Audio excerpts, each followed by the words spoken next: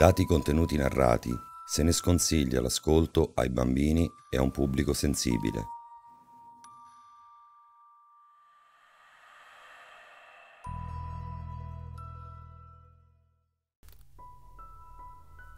Sinceramente, non capisco. Non so da quando è nata la mia passione per eh, loro, questi esseri così abominevoli che riempono i nostri incubi. Ma fatto sta che è da moltissimo tempo che leggo le loro storie e non capisco. Tutto questo orrore, tutta questa pazzia, tutta questa malvagità.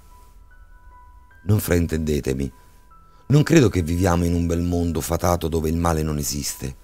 Capisco che qualcuno uccida per mangiare, per difendere se stesso o gli altri, ma queste cose no.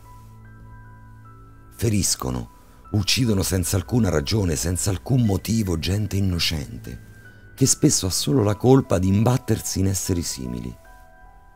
Semplicemente follia, esseri nati dalla follia, dalla paura e dal male, che non possono esistere veramente. Ma oggi basta. Dopo aver sentito questa storia ho deciso di smetterla di occuparmi di queste fantasie, perché di fantasie si tratta. Non possono essere vere, per l'amor di Dio.